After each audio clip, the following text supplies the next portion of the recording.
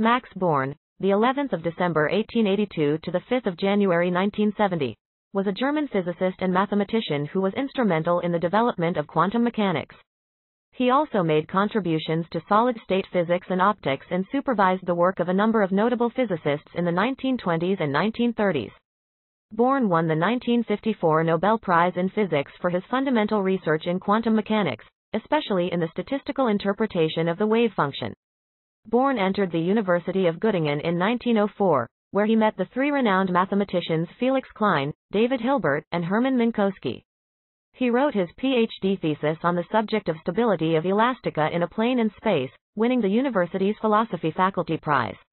In 1905, he began researching special relativity with Minkowski, and subsequently wrote his habilitation thesis on the Thomson model of the atom.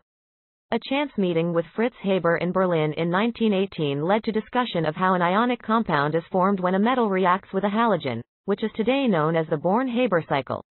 In World War I, after originally being placed as a radio operator, he was moved to research duties regarding sound ranging due to his specialist knowledge. In 1921, Born returned to Göttingen, arranging another chair for his longtime friend and colleague James Franck. Under Born, Göttingen became one of the world's foremost centers for physics. In 1925, Born and Werner Heisenberg formulated the matrix mechanics representation of quantum mechanics. The following year, he formulated the now standard interpretation of the probability density function for psi 8.